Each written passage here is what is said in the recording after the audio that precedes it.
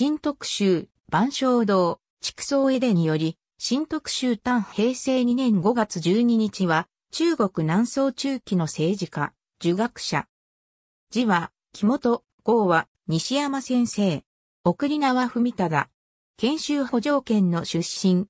幼少時から天才で知られており、4歳の時にはどんな書物を暗唱することができたという。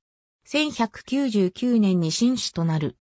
博学広志科に旧大し、南宋の構想に仕えて大学博士となったが、その後を継いだ根井隆には疎まれて地方間に左遷されてしまった。しかし、そこで先週の交易や解剖対策で功績を挙げている。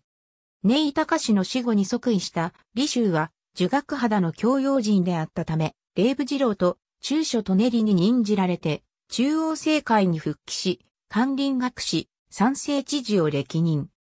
李州の側近として活躍したが、当時の南宋の実権を握っていた有力者である、死渡る縁から、その活躍を妬まれて左遷されかけたこともあり、結局、新徳州が行った李州に対する10万にも及ぶ上層は成果を上げられなかった。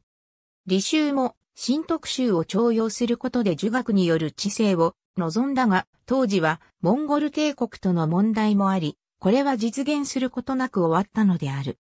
しかし、初期の時代に起こった偽学の変で弾圧された儒学者たちを解放するように皇帝に進言して、これを実現させるなど、一部では評価されている功績がある。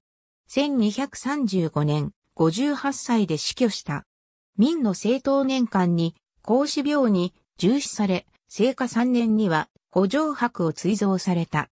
新特集の学問では、手記の説を最も信奉し、その方針としては、寛容を先として、旧理を後とする。実践的な工夫では、要慶を重んじた。